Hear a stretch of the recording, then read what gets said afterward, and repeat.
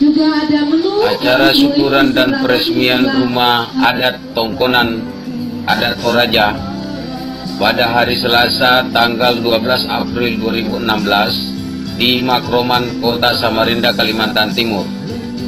Dan diresmikan oleh Bapak Wali Kota Samarinda juga hadir Ketua KKSS Dr. Haji Andi Sofian Hasdam bersama Ketua Adat Dayak Bapak Yahya sebagai anggota DPRD Provinsi Kalimantan Timur.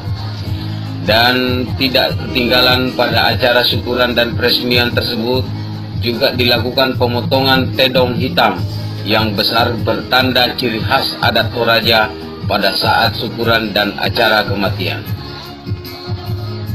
Harapan saya ini menjadi wisata di kota kita.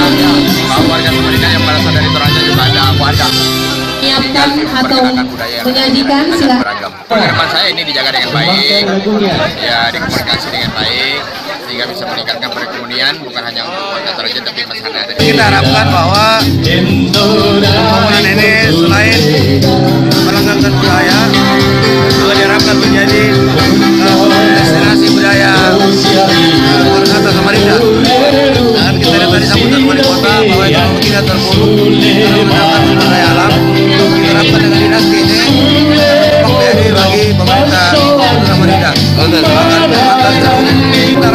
harapkan ke depan bahwa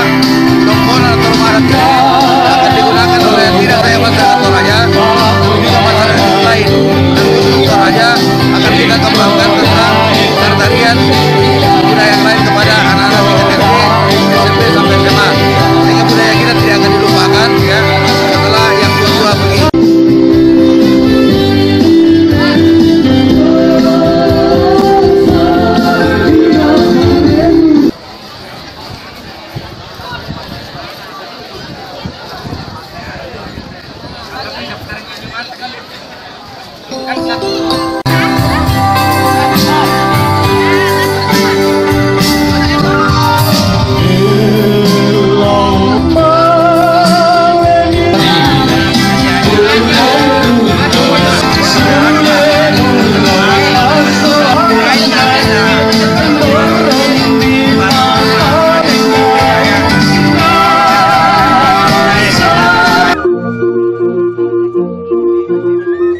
สวั